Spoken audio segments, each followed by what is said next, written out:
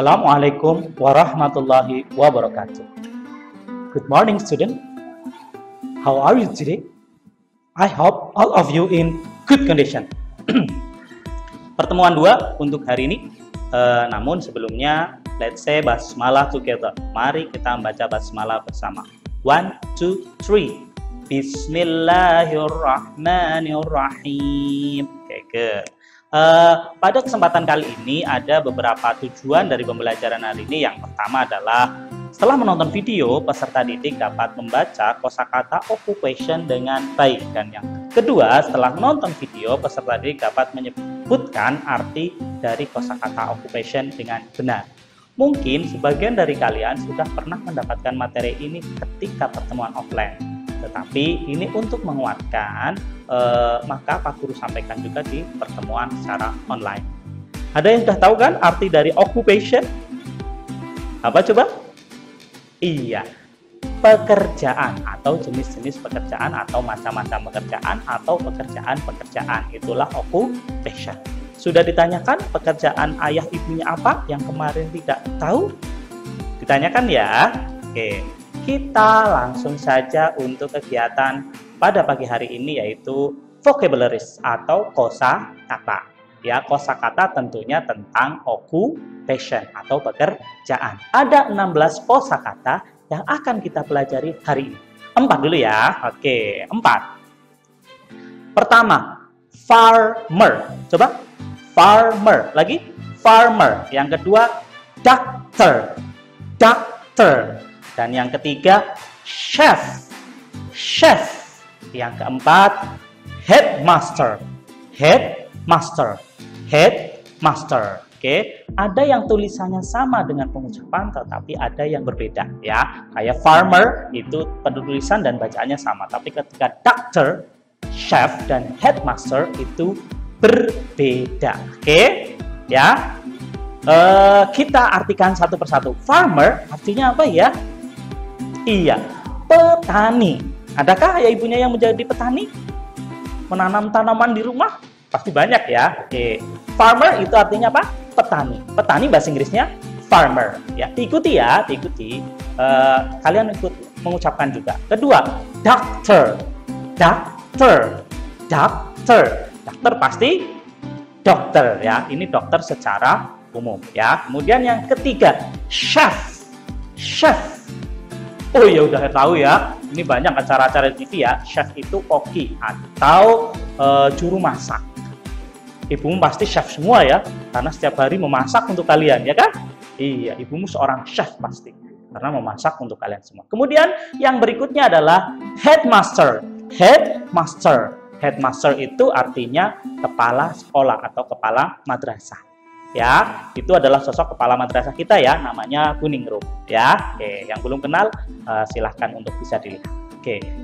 Sudah paham ya? Empat ya kosakata baru ya tentang occupation ada farmer doctor chef dan headmaster. Empat kosakata berikutnya. Oke empat kosakata berikutnya. Ada student kemudian ada teacher ada driver dan juga carpenter. Coba diikuti. Student. Lagi student. Oke, okay, good. Teacher. Lagi teacher. Oke. Okay. Berikutnya driver. Ulangi driver. Oke, okay, good. Selanjutnya carpenter. Carpenter. Ulangi carpenter. Oke, okay. student pastinya udah pada tahu ya. Tadi juga Pak Guru menyapa dengan good morning student. Student berarti artinya pelajar atau murid atau siswa itu student ya. Kemudian teacher kalau Pak Guru menyapa good morning student kalian menjawabkan dengan good morning teacher. Berarti teacher artinya apa? Iya guru. Oke teacher itu artinya guru. Oke berikutnya. Driver. Driver. Driver. Driver itu artinya supir atau pengendara kendaraan pasti ayah ibumu itu driver semua ya karena e, luar biasa mengantar kamu pulang dan pergi ke sekolah ataupun ke mana-mana ya berarti driver oke okay? driver berikutnya berikutnya carpenter carpenter carpenter itu adalah Tukang kayu, orang yang membuat meja, kursi, almari, pintu, jendela itu namanya carpenter. Carpenter, tukang kayu. Sudah hafal ya? Empat-empatnya ya? Coba, tadi pelajar apa? Student, guru. Teacher, sopir. Driver, tukang kayu. Carpenter, good. Lanjut ke empat vocabulary lainnya adalah ada barber. Tangi, barber. Lagi, barber. Berikutnya, dentist. Dentist. Dentist. Oke, okay, good. Berikutnya, nurse nurse. Lagi nurse. Oke, okay. dan yang nomor 12 fisherman. Fisherman. Fisherman. Fisherman. Oke. Okay. Barber Udah tahu ya, banyak nih di Purbalingga sekarang ya, di Inggris kan. Aslinya adalah tukang potong rambut ya. Kalian pernah potong rambut di barber? Yang Indonesia maupun Inggris ya, yang bahasanya Indonesia pasti sudah pernah semua. Nama bahasa Inggrisnya barber, tukang potong rambut atau tukang cukur. Berikutnya, dentist. Dentist. Dentist itu artinya dokter gigi ya, dokter gigi. Dokter yang khusus menangani tentang gigi. Dentist. Ya, oke. Selanjutnya, nurse. Nurse ini oh, orang yang membantu dokter. Artinya apa? Perawat. Nurse itu artinya perawat. Nurse artinya perawat. Dan yang berikutnya ada fisherman dari kata fish. Ikan, orang yang menangkap ikan atau sering disebut dengan nelayan. Fisherman. Fisherman. Fisherman. Oke, jadi sudah empat berikutnya ada barber, dentist, nurse, dan fisherman. Kita coba Tukang cukur, bahasa Inggrisnya apa? Barber, dokter gigi. Dentist, perawat. Nurse, nelayan. Fisherman, good. Berikutnya, empat kosakata terakhir, karena hari ini kita ada 16 ya. Yang uh, nomor 13, Tyler. Tyler. Tyler. Tyler. Oke, okay. ulangi lagi. Tyler. Oke, okay. berikutnya 14 librarian. Librarian. Lagi? Librarian. Oke. Okay. 15 soldier. J dibacanya J. Soldier. Soldier. Soldier. Oke okay, good. Yang terakhir police police police pasti sudah tahu semua ya artinya yang polis ya. Oke okay, kita artikan satu persatu. Tyler itu adalah penjahit ya jadi yang buat baju, celana, jilbab itu namanya penjahit.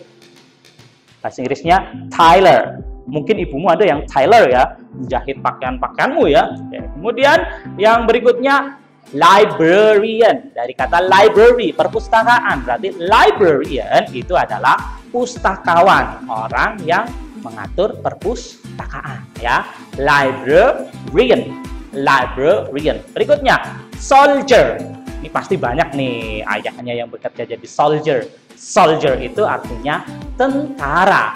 Soldier. Yo, siapa yang ayahnya tentara? soldier ya. Berikutnya police. Iya, polis ya pasti polisi. Ini juga banyak ya yang orang tuanya bekerja sebagai polisi. Mungkin kalau Tyler ada beberapa, gitu ya. Jadi sudah empat terakhir ini ada Tyler, librarian, soldier, dan police ya. Coba kita coba. Penjahit bahasa Inggrisnya Tyler, pustakawan, librarian, tentara, soldier, dan polisi, polis. Oke, ke. Sudah hafal ya? Ada 16 ya tadi ya. Ada 16 kosakata atau vocabularies tentang occupation. Saatnya kita exercise atau uh, evaluasi. Silahkan kalian tulis soalnya dan juga jawabannya. Pak Guru tunggu eh, 5 menit atau 10 menit. Silahkan tinggal pause saja. Sewaktu seluas-luasnya waktu kamu di pause dulu. Oke. Pak Guru anggap sudah pause ya. Oke. Kita lanjut untuk jawabannya. Petani in English is tadi apa ya? Iya, farmer. Oke, siapa yang betul? Wah, big close, luar biasa. Berikutnya, murid atau pelajar atau siswa. Apa ya? Ah iya, student. Good. Nomor tiga, koki. Oh, pasti bisa semua ini ya. Koki. Apa bahasa Inggrisnya? Iya, koki in English is chef. Oke, okay, good. Nomor empat, dentist means artinya dentist artinya apa? Iya, dokter gigi. Oke. Selanjutnya yang terakhir, soldier. Artinya apa soldier? Iya, tentara. Siapa yang betul lima-limanya? Oke, silakan kasih nilai ya sendiri ya. 100 gitu ya. Ada yang salah satu? Salah satu kasih nilai 80. Salah dua?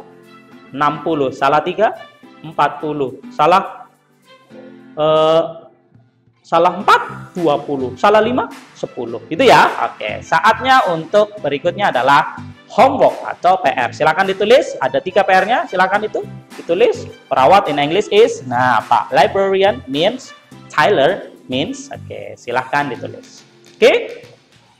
Pak Guru rasa cukup untuk hari ini kita sudah belajar tentang vocabularies, uh, occupation ada 16 tadi ada farmer, ada doctor, ada dentist, ada nurse, ada soldier, ada librarian, ada driver, ada tailor, ada banyak sekali.